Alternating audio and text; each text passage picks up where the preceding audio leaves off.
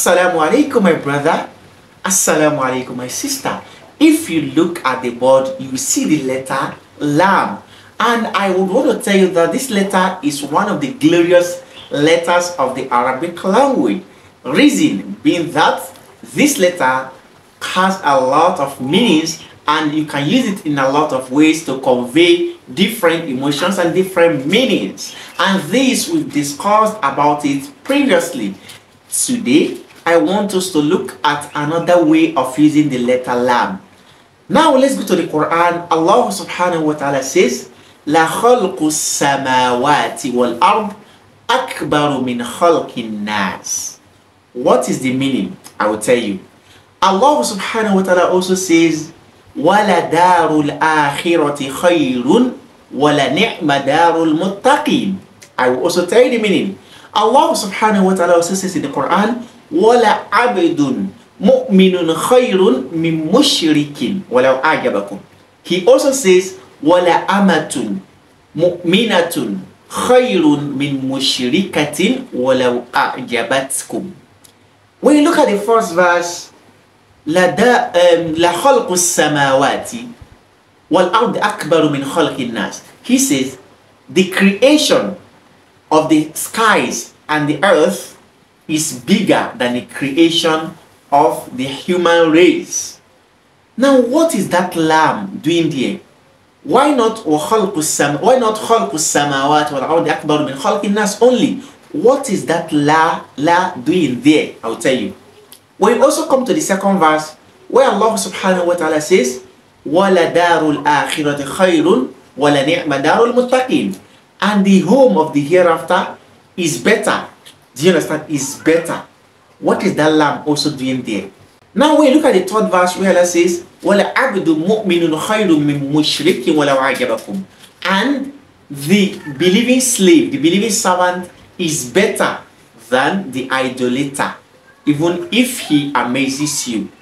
And the last verse he also says, and the believing wala amatun khayru min mushrikin wala amatun minatun khayru mushrikatin wala ajabatkum. And the believing slave girl is better for you than the disbelieving or the idolater even if she amazes you. Now all these verses with the translation we have not captured the la that you see in each of them.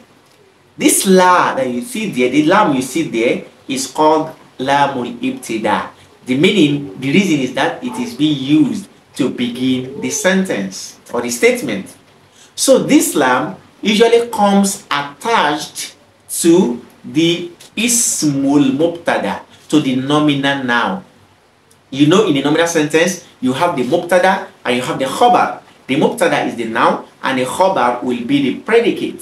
So this lam is usually attached to the uh, to the noun. That's why you see la khalqus samawati. Wa tufidu tawqid and this lam signifies emphasis. So whenever you see this lam, it means indeed or verily or truth or truthfully or undoubtedly. Do you understand now? So can we go back and translate? Now we say la khalqus samawati wal ardi akbaru min khalqin nas. Indeed, the creation of the heaven and the earth is better than the creation of the human, is, is bigger than that of the human. The second verse also, where Allah says, وَلَدَارُ الْآخِرَةِ خَيْرٌ وَلَنِعْمَ دَارُ الْمُتَّقِينَ He says, and the home of the hereafter, meaning indeed the home of the hereafter is better and do you understand? Is better. So, voila, that lam there is showing what? Emphasis. When he also says, Wala abidun mu'minun khayrun min mushrikin, it means, and indeed, a believing slave is better. This is an emphasis this to show you that it is undoubted, undoubtful. There's no doubt about it that a believing slave is better than the idolater. The same thing, a believing slave female girl is also better than the free um, idolater that you know. So this means that this lab whenever it is attached, it is attached to be used for emphasis. This we have even discussed previously. Today we want to move a step further to discuss about Islam deeply or deeper than what we have talked about talked about.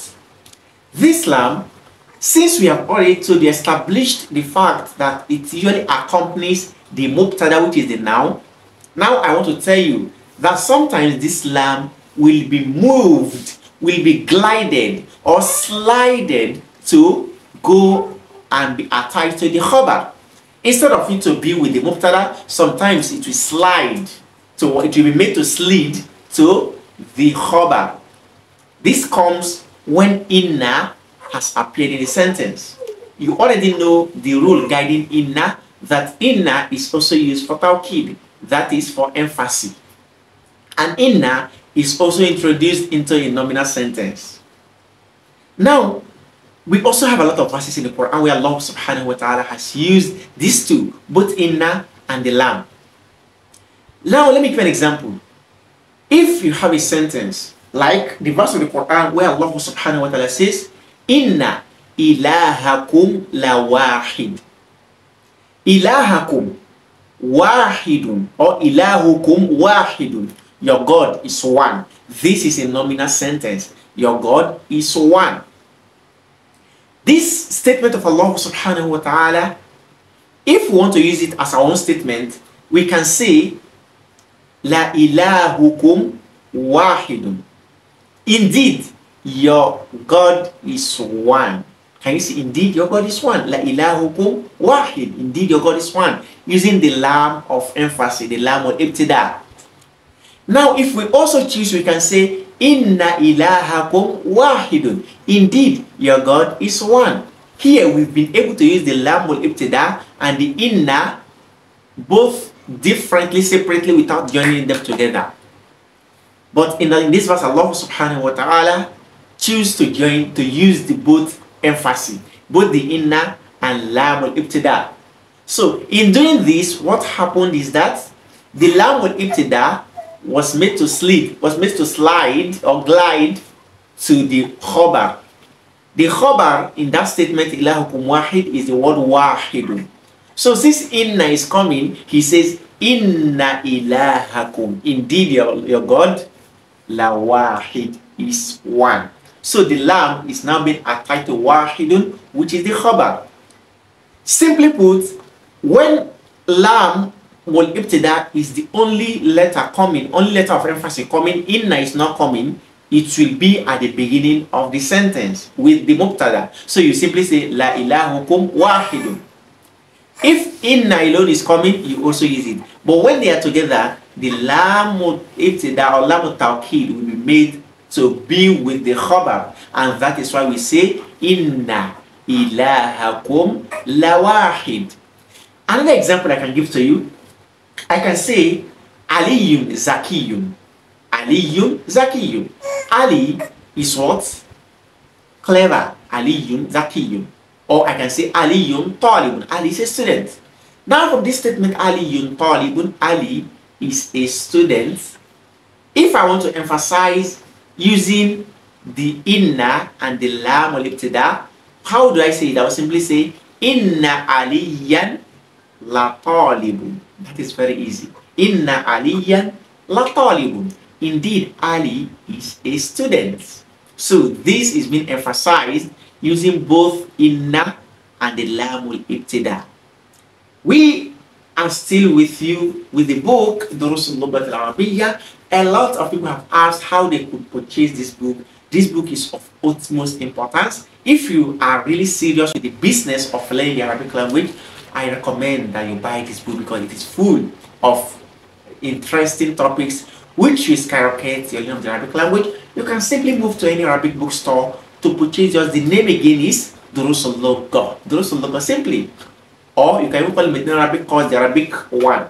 Then we also have the Medina Arabic book which is the key to this book to make it simplified for you. This you can purchase it through my affiliate link placed in description box without an extra cost to you and to be of benefit to our channel.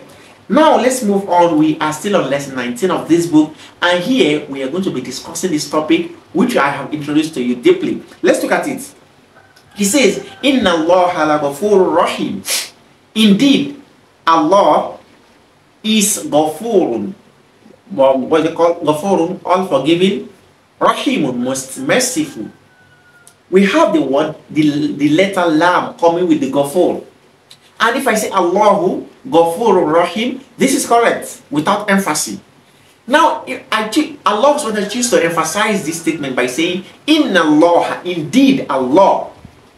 And the lam there originally should be with Allah. Would have said, Lallahu Ghafur. Indeed, Allah is forgiving. But because of Inna, Allah says, Inna Allah. Then the lam is now being attached to the gofur, which is the predicate, the khabar. So he says, Inna Allah la ghafurur rahim. Indeed, Allah is most forgiving or all forgiving, most merciful. So these two are used to emphasize this statement to show the extent of or to make us understand the extent of the forgiveness and the mercy of our Creator. Now he says, هذه لام الابتداء دخلت على خبر This lam that you see with غفور it is called the lam of ibtida, the lam of beginning. It is used to begin a statement. Now this lam is now introduced into the khabar, which is the predicate. Inna al maksura what is idhin lamul muzahliqa. So ala khabar inna this lam, it is meant to be introduced into the khabar of inna. Because you know, whenever inna is introduced into a nominal sentence, the noun becomes the noun of inna and the khobar becomes the khobar of inna. This saying again that because the lam is coming to the khobar of inna, the inna al maksura, meaning inna which has kisra, that is not anna. It is inna we're talking about. وتسمى and this made this lam to be called the, the slid lam or the, the, the, the glided lam, the lam which is being displaced, which is being moved away from its original position. وَهَا أَمْثِلَةً لِلَّامِ الْمُدَحْلَقُ And here you are to take the examples for this type of lam. The first example we have here is Allah says in the Quran, Surah Safat, verse 4, Allah subhanahu wa ta'ala says, Inna ilahakum lawahid. Indeed, your Lord is one. La wahid. Number two, Allah says, Surah Al-Ankabut, chapter 29, verse 41, Allah says, Wa inna awhanal buyuti la baytul ankabut law kanu ya'lamun. Allah says, inna awhanal buyut. And the most fragile, and the most, and indeed, the most fragile of all houses, la baytul ankabut, is the house of what? The spider. Know how fire it is, can easily break it, can just blow it away and how should it go? So this is what Allah says in the Quran. So you can see we're in now hanal baiti la baytu. Because baytu here is the khabar, so we attach la to it, it becomes la baytu. Number four, we, number three, we have wa inna ankarol aswati la sawtul hamir. Allah says in the Surah Luqman, verse 19 Allah says, wa inna ankarol aswati. And the worst of voices the most hated of voices or the worst of voices is the voice of what? The hamir. That is the donkey. Can you see that? So, la too, Because to here is khabar, la too. The lam is attached. Number four, we have innahu la Quranun karim. Indeed, it is the glorious Quran, the Holy Quran. So, la Quranun. Quranun there is coming as Allah attached the lamul muzahlaqa to it. So it becomes innahu la kareem.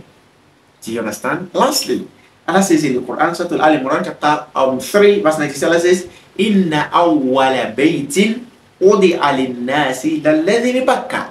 says, indeed, the first of the houses of worship which is being made for the people is the one in Bakka, which is Makkah. So you see, inna awwala bayti nasi lalladhi, lalladhi, alladhi there, that is the khabar. So lalladhi bibakka. So with this, at least with these verses, you be able to understand the meaning of the la when you come in with the, when you come into the Quran to recite. Because sometimes when we recite the Quran, I'll come across some of these things, we will feel like, ah, why are they being attacked? And Allah subhanahu wa ta'ala will not send anything which is not beneficial or for no reason. No, no, no, Allah is not playing. So all these letters you see changing from one thing to the other, they all have their meanings and their reasons behind them. We ask Allah subhanahu wa ta'ala to grant us better understanding. My brother, my sister, make sure you like, share with your friend, and even drop comments in the comment section so we know your thoughts about this video. Until we meet again, you can simply click on the join button here to join our membership for exclusive members content ranging from quizzes, polls, videos, and a hadith for those of us who join hadith learning level.